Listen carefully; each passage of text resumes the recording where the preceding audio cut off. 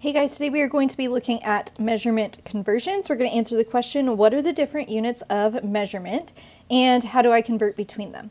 So a measurement can be converted to represent an equal amount with a different unit of measure, such as inches to feet or grams to kilograms. Measurements can be converted by using a proportion and then we will solve with cross products. The way you can do this is make sure that you plan how your proportion will be set up with words, and then we're going to write the ratio with the information that is known. This information can be found on your formula chart or in the problem. And then set up a ratio with the information that is unknown. So we're going to go from words, we're going to write a ratio for what we know, and then we will set up the ratio with what we do not know, and then we will solve that proportion. So let's look at number one. It says, how many feet are in 16 yards? So if you did not remember how many feet are in a yard, on your formula chart on the second page, you have this whole page of measurement conversions. So one yard equals three feet. So now I can use that to help set up my proportion. Remember, we're going to do the words first. So we are going to do feet over yards whenever we set up our proportion.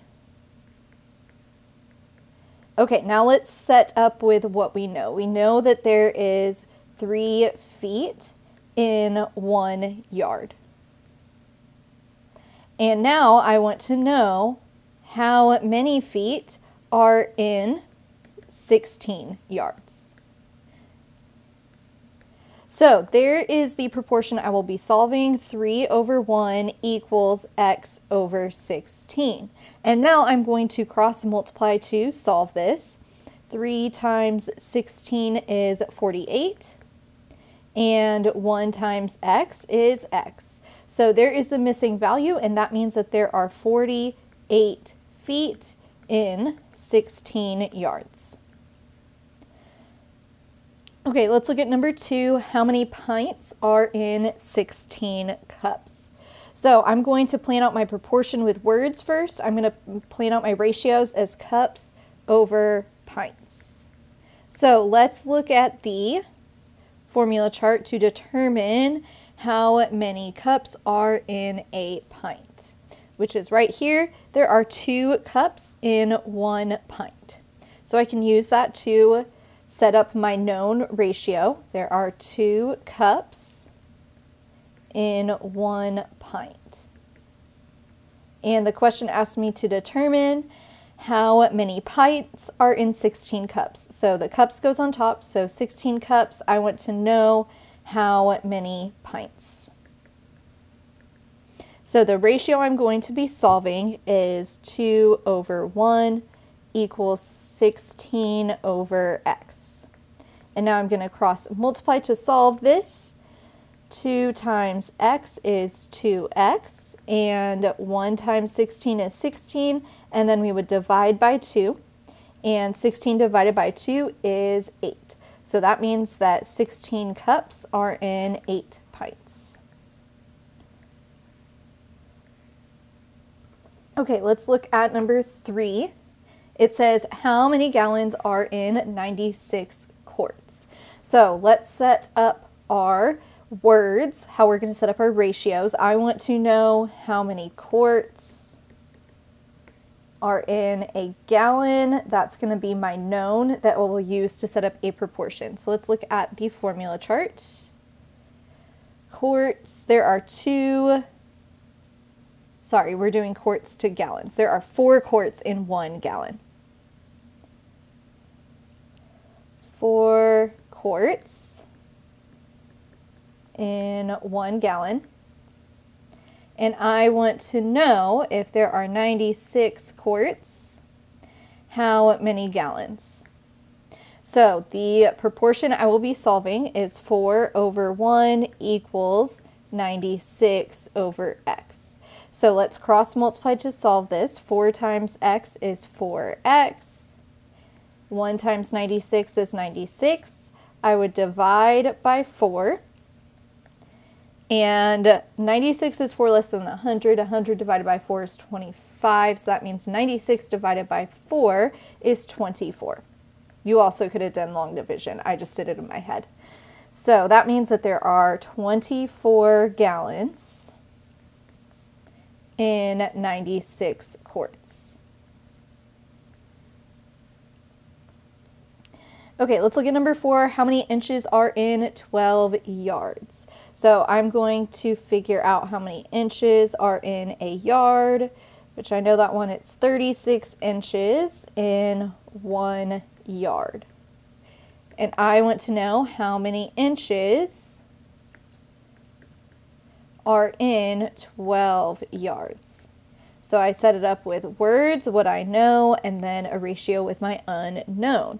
And now I have this proportion 36 over 1 equals x over 12 and I can cross multiply to figure out how many inches are in a yard. So I'm going to have to do 36 times 12. 2 times 6 is 12. 3 times 2 is 6 plus 1 is 7.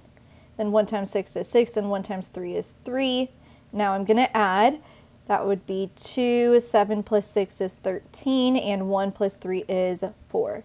So 36 times 12 was 432, and then 1 times x is x. So that means that there are 432 inches in 12 yards. Number 5 says how many fluid ounces are in 2 pints. So I need to set this up. How many fluid ounces are in a pint?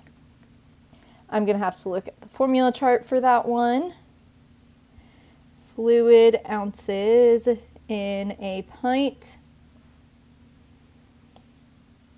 Uh, one cup has eight fluid ounces and one pint has two cups. So that means that one pint would have two cups with eight ounces each. So we do two times eight, which is 16 fluid ounces. So one pint is going to have 16 fluid ounces. So 16 fluid ounces in one pint. There's my known. Now let's set up a ratio of our unknown. It said how many fluid ounces are in two pints. So it'll be 16 over 1 equals x over 2 for my proportion. And now I can cross multiply. 16 times 2 is 32. 1 times x is x. So that means there are 32 fluid ounces in two pints. Number six says how many centimeters are in two kilometers. So I need to know how many centimeters are in one kilometer. So let's look at our formula chart for that.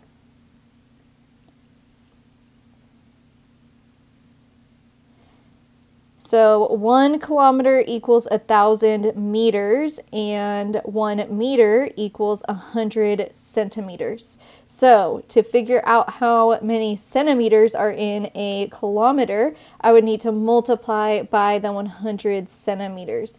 And that would be a hundred thousand centimeters in one kilometer. So one kilometer has a hundred thousand centimeters. So a hundred thousand centimeters in one kilometer. And I want to know how many centimeters are in two kilometers. So the proportion I'm solving is a 100,000 over 1 equals x over 2. And now I'm going to cross multiply to solve. 2 times a 100,000 is 200,000.